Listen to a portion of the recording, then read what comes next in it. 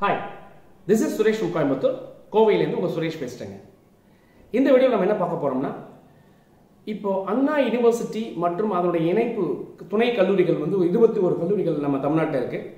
இந்த கல்லூரிகளில் இந்த வருஷம் கல்வி கட்டணம் உயர்வு அப்படிங்கிற விஷயம் வந்து ஏற்கனவே எல்லா பப்ளிக் நியூஸ் பேப்பர்ஸ் வந்திருக்கு சேனலில் நியூஸ்லாம் பார்த்துருப்பீங்க. தெரியாதவங்களுக்கு இது ஒரு சின்ன ஒரு தகவலை சொல்லணும்னு ஆசைப்பட்டேன். அதனால இது புதிய தகவலாக இந்த வீடியோவில் நான் சொல்ல ஆசைப்பட்றேங்க. அண்ணா யூனிவர்சிட்டி இணைப்பு கல்லூரிகள் அந்த இருக்கக்கூடிய கல்லூரிகளில் இப்போ என்ன மாற்றங்கள் நடந்திருக்கு அப்படின்னா சென்ற ஆண்டு பார்த்தீங்கன்னா சராசரியாக கல்வி கட்டணமாக பதினெட்டாயிரம் ரூபாய் இருந்தது. அதே சமயத்தில் மா ஹாஸ்டலில் இருக்கிறவங்களுக்கு பதினெட்டாயிரம் ரூபாய் வந்து சராசரி முப்பத்தி ஆறாயிரம் ரூபாய் ஒரு வருஷம். ஹாஸ்டல் அப்படிங்கிறது பதினெட்டாயிரமும் படிக்கிறதுக்காக பதினெட்டாயிரமா இருந்த ஃபீஸை இப்போ மாற்றி அமைத்து இந்த வருஷம் அண்ணா பல்கலைக்கழக இணைப்பில் இருக்கக்கூடிய கல்லூரிகள் அதாவது வந்து மொத்தம் இருபத்தி ஒரு கல்லூரிகள் இருக்கு. அதில் ஆறு கல்லூரிகள் போக மிச்சம் உள்ள பதினைந்து கல்லூரிகளில் என்ன ஃபீஸ் வாங்க போறாங்க அப்படின்னு கேட்டால் தமிழ்நாடை சேர்ந்த மாணவர்களாக இருந்தால் முப்பத்தி மூவாயிரத்தி ஐநூற்றி அறுபது ரூபாயும் ஒரு ஆண்டிற்கு முப்பத்தி மூவாயிரத்தி ஐநூற்றி அறுபது ரூபாயும் இதுவே மற்ற நாடு அதாவது மற்ற ஸ்டேட் அதர் ஸ்டேட் மற்ற மாநிலங்களிலிருந்து வரவங்களா இருந்தால் முப்பத்தி நாலாயிரத்தி அறுபது ரூபாயும் இந்த வருஷம் வந்து உங்களுக்கு கல்வி கட்டணமாக நிர்ணயிக்கப்பட்டிருக்கிறதுங்க. இதே வந்து என்ஆர்ஐன்னு சொல்லுவாங்க நான் ரெசிடென்ஷியல் இந்தியன் அதாவது வெளிநாட்டு இருக்கிறாங்களே நான் ரெசிடென்ட் இந்தியன் இந்தியர்கள் ஆனால் இங்கே இல்லாமல் வெளியில இருந்து படிக்கணும்னு ஆசைப்படுறேன் அப்படின்னு நினைக்கிறவங்களுக்கு இருபத்தி மூணாயிரத்தி பத்து ரூபாயாக இந்த வருஷம் வந்து ஃபீஸ் ஃபிக்ஸ் பண்ணியிருக்கிறாங்க. அது போக ஃபர்ஸ்ட் கிராஜுவேஷனாக இருந்திருந்தீங்க அப்படின்னா இருபத்தி ஏழாயிரத்தி ஐநூற்றி அறுபது ரூபாய் உங்களுக்கு ஃபீஸ் ஃபிக்ஸ் பண்ணியிருக்காங்க. இது அண்ணா பல்கலைக்கழகத்தோட இணைப்பு கல்லூரிகளாக இருக்கக்கூடிய கல்லூரிகளில் இந்த ஃபீஸ் வாங்குறாங்க.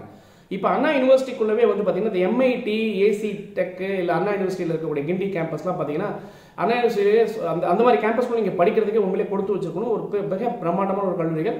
கிட்டத்தட்ட அந்த கல்லூரிகள் சொல்றதோட நான் கோயில்கள்னே சொல்ல ஆசைப்படுறேன்.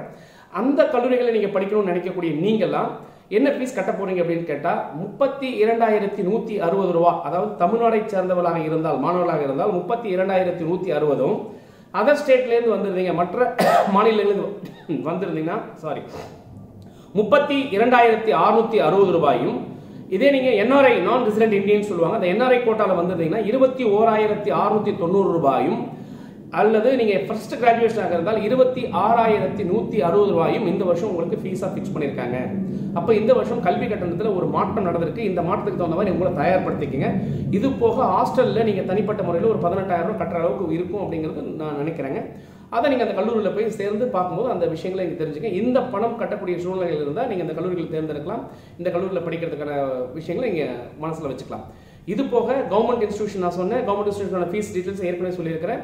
அது ஒரு சின்ன மாற்றம் இருக்குது அப்படின்னு சொல்லியிருந்தேன். ஏசி டெக் அப்படிங்கிற காலேஜில் வந்து நான் ஏடியர் காலேஜ்னு சொல்லிட்டேங்க. அந்த தவறு. அது வந்து ஏடியர் காலேஜ் இல்லை. அது வந்து கவர்மெண்ட் காலேஜ் தான். அப்படிங்கிறது போன வீடியோ சொல்லியிருக்கேன். இந்த வீடியோலையும் அந்த தவறாக நான் சொன்னதுக்கு வருத்தம் தெரிவிக்கிறேன். மன்னிச்சுக்கோங்க எல்லாரும். அந்த இதை நீங்கள் கரெக்டாக திருத்திக்கலாம். ஏசி டெக்ங்கிறது வந்து உங்களுக்கு கவர்மெண்ட் காலேஜ் கண்ட்ரோலில் வருது. பத்தாயிரம் ரூபா அளவுக்கு தான் அங்கே ஃபீஸ் இருக்கும். மாதத்துக்கு ரெண்டாயிரம் ரூபா அளவுக்கு உங்களுக்கு மெஸ் ஃபீஸ் வரும். ஹாஸ்டல் ஃபீஸுங்கிறவங்க ஒரு முந்நூறுவாயிலேருந்து ஐநூறு ஆயிரம் ரூபா போல ஒரு ஹாஸ்டல் ஃபீஸ் அப்படிங்கிற ஃபீஸ் வருங்கிறது நான் அந்த வீடியோ மூலம் சொல்ல ஆசைப்படுறேன்.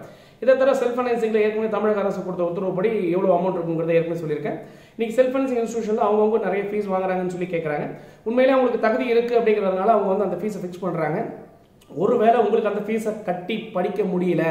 நான் அந்த காலேஜ் செலக்ட் பண்ணிட்டேன். ரவுண்ட் ஒன்லேயே ரவுண்ட் ஒன்னை பற்றி நீ பேச முடியாது. ரவுண்ட் டூ நான் செலக்ட் பண்ணியிருக்கேன். இன்னைக்கு வந்து நீங்கள் எல்லாமே சாய்ஸ் லாக் பண்ண வேண்டிய கட்டாயம் இருக்கும். ஃபைனலைஸ் பண்ண கட்டாயம் இருக்கும். ஒருவேளை பணம் கட்ட முடியலங்கிற ஒரு கான்செப்ட் இருந்தால் தயவு செய்து அங்கே படிக்க முடியலன்னு சொன்னால் அதை ஸ்கிப் பண்ணிட்டு வெளியில் வந்துருங்க. அடுத்த ரவுண்டில் இருக்கக்கூடிய கல்லூரிகளை தேர்ந்தெடுங்க. அடுத்த கல்லூரியில் வரப்போகிற கல்லூரிகளும் உண்மையிலேயே ஒரு சிறந்த கல்லூரிகளாக தான் இருக்க போகுதுங்கிறதையும் இந்த வீடியோவில் சொல்கிறேன் நல்ல ஒரு காலேஜில் நல்ல சீட்டை நீங்கள் எடுப்பீங்க. கண்டிப்பாக கிடைக்கும்ன்ற நம்பிக்கையோடு தொடர்ந்து பேசுவோம். இணைந்திருங்கள். இன்னொரு ஒரு தகவலோடு உங்களை சந்திக்க ஆசைப்படுறேன். அதுவரை உங்களிடம் விடைபெற்றுக் கொள்கிறேன். சுரேஷ்.